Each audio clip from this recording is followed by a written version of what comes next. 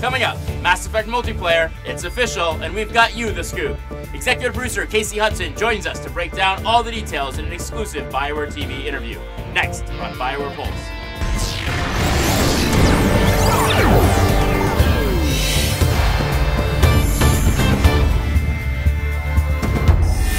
You're locked into Bioware Pulse. I'm David Silverman. If you've been craving new ways to play Mass Effect, you're in the right place. Today, BioWare officially announced multiplayer for the upcoming Mass Effect 3. That's right, Mass Effect 3 is going to let you engage in all-out galactic war with three of your friends. For more information on the four-player co-op feature in Mass Effect 3, we sat down with executive producer Casey Hudson to bring you this exclusive interview. It's time for Insider.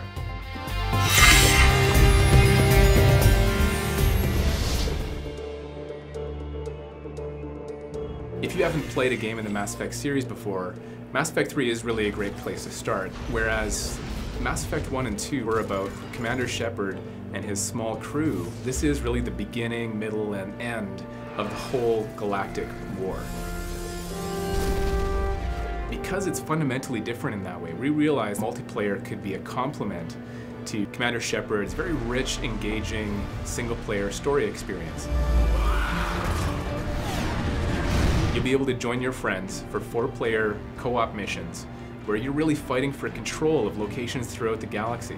But what's really amazing about multiplayer in Mass Effect 3 is that for the first time you'll be able to take control of characters that you've never been able to play before. You can be an Asari, you can be a Drell, you have access to all the different classes and many of the different races that you've seen in the Mass Effect series, but you haven't been able to play before. Because it's been an integrated design effort, we've created something that is a cohesive experience between the multiplayer and the single-player aspects of Mass Effect 3. These places that Commander Shepard is trying to secure across the galaxy as part of your war assets on the single-player side, you're fighting to control those on the multiplayer side.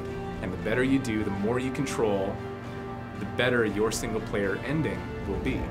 Ultimately, it's about adding more player choice.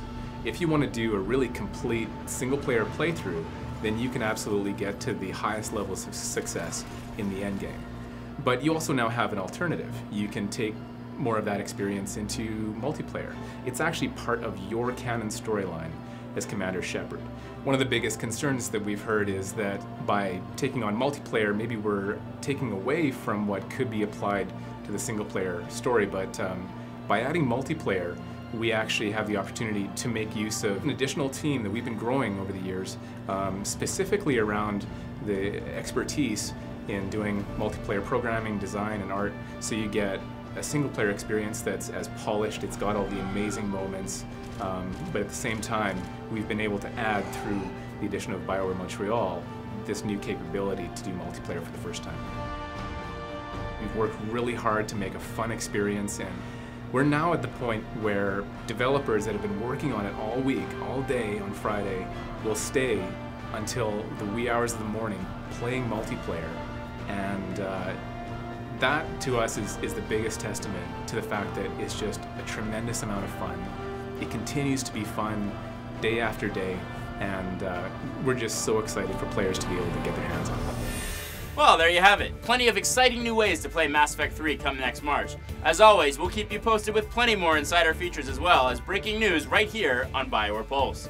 And don't forget, Dragon Age 2 Mark of the Assassin is available right now for download. It features a brand new follower named Tallis, an elf assassin with an amazing array of combat techniques.